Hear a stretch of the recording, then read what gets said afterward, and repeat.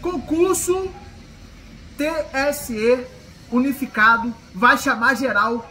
Edital 2024 publicado, Rodrigo Marcelo por aqui, alô TI. Vamos fazer um breve bate-papo aqui sobre o assunto. Você deu like, ativa notificações, você dá mais. Pessoal, seguinte. Concurso TSE unificado para TI, oportunidade muito boa. Para técnico e analista. Bom, você que vai fazer para técnico tem que ter ali o ensino superior também, assim como analista. Só que para técnico ali, que você vai fazer para dev, tá pedindo curso. Tá pedindo curso ali de no mínimo 180 horas. Pessoal, eu recomendo você fazer o seguinte, ah, não tem um curso de 180 horas. Pessoal, isso é fácil de arrumar. Só você fazer um curso após a sua aprovação e agilizar isso.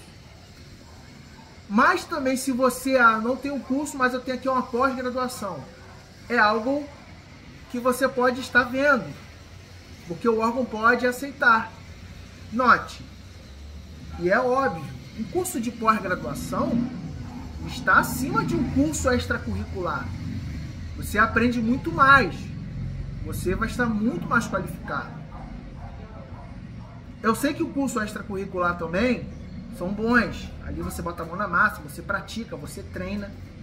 Mas assim, gente, eu recomendo você verificar, não deixar sua oportunidade passar. Faça se você tem o interesse em fazer para técnica. Ah, tem um curso aqui é, de programação de dev e é acima de 180. Pessoal, aqui é questão de interpretação, né? Lá o edital fala claramente que é no mínimo 180 horas. Se você tem aí 360 horas, ah, eu tenho aqui 400 horas, ótimo, mas vai ser bom pro órgão vai ser bom pro órgão. Mas se porventura você, ah, não quero fazer para técnico não, pode fazer para analista também de TI. Quais são os requisitos? Ali, se você ver os requisitos, é superior em TI. Ali está bem amplo e aceita o tecnólogo.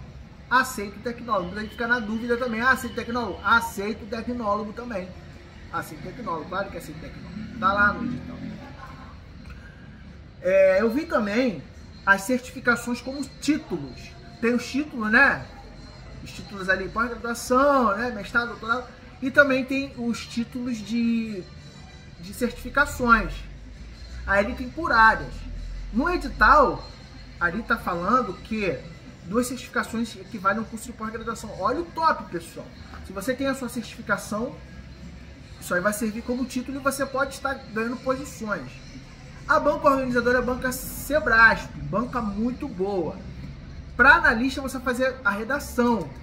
Para analista você fazer a redação, você vai ganhar mais também, né, gente? Técnico ali você vai tirar um pouco mais de 8 mil. E para analista vai ganhar muito mais, pessoal. Ganhar muito bem ali, na casa dos 13 mil, né? Um pouco mais. Fora os benefícios. O que, que eu te recomendo a fazer? Eu sou analista judiciário também, quem me acompanha aqui sabe sou de tribunais, sou da área de TI também. E qual foi, inclusive, o concurso que passei, que me tornei analista judiciário de tribunal, só que foi do tribunal estadual. É, bom, para que eu acho que você sabe, né, mas TSE a nível federal, tá, gente? Isso aí você tem que saber, né, pessoal? Você fazer prova, isso cair prova.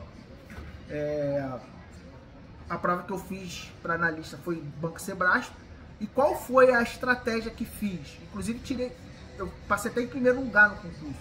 Pessoal, muitas questões, principalmente a parte específica. Eu não estudei muito a parte específica. Eu fiz muitas questões, porque eu já estava com conhecimento consolidado, já estava ali já nos meus seis anos já estudando, estudando ali com intensidade para a área de TI. Então estava com conhecimento bem apurado.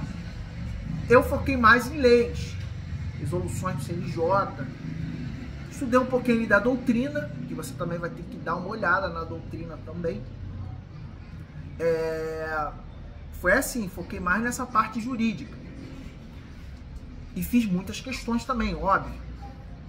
Você me recomenda isso, Rodrigo? Recomendo você, se você já tem conhecimentos apurados, fazer muitas questões e focar na parte jurídica, ali, doutrinas, lei seca, e muitos exercícios.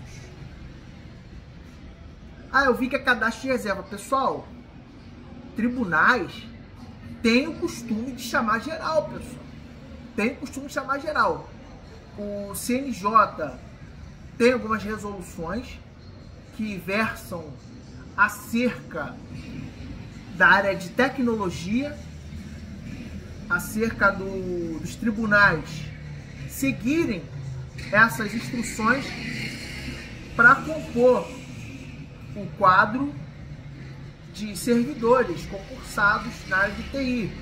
A gente sabe que a tecnologia, cada dia que se passa, vai se ampliando, as vulnerabilidades, a parte de segurança precisa ser reforçada, a parte de desenvolvimento precisa de mais pessoas, mais desenvolvedores. E o concurso está aí, pessoal. Tem que ter visão de médio a longo prazo. Vale a pena você colocar o seu nome ali na lista dos aprovados. Vale a pena investir no concurso TSE, o TSE unificado área de TI. Vale muito a pena. Eu nunca fiz concurso, é meu primeiro concurso, faça.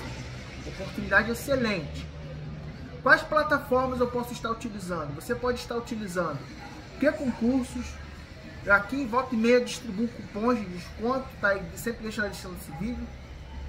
Gran Curso Online também, excelente, que me ajudou a, a estudar para e a passar em concursos tribunais. E os nossos materiais, mapas mentais que estão aí na lição desse vídeo. E as nossas apostilas também para você estudar. Certamente você vai estar bem servido se tiver aí ao menos um desses materiais que estamos sempre recomendando aqui no canal. Sigilo total, óbvio, sigilo total para fazer essa prova. Ninguém precisa saber que você vai fazer essa prova, porque assim, é muito grandioso, né, pessoal? Você vai ser ali um técnico judiciário, um analista judiciário. Gente, o que tem aí de sabotadores vão querer te colocar para baixo. Ó, sigilo total. Só fale que você vai fazer esse concurso você, quando você passar, quando você tomar sua posse.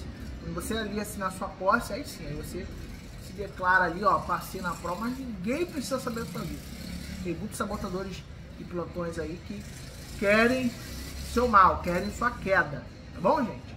E mais é isso que eu tenho para falar sobre o concurso TSE unificado. Deixe seu like nos comentários, vamos conversar muito sobre esse concurso. Deixe seu like nos comentários e eu vou ficando por aqui. Até o próximo vídeo.